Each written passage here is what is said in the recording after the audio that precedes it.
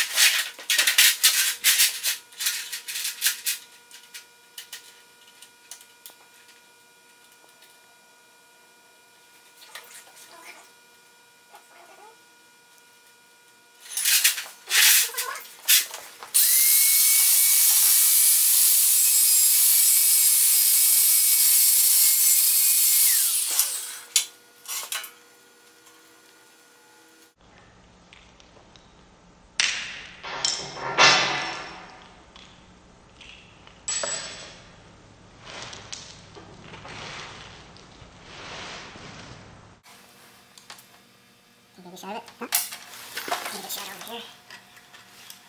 So we're gonna take this piece.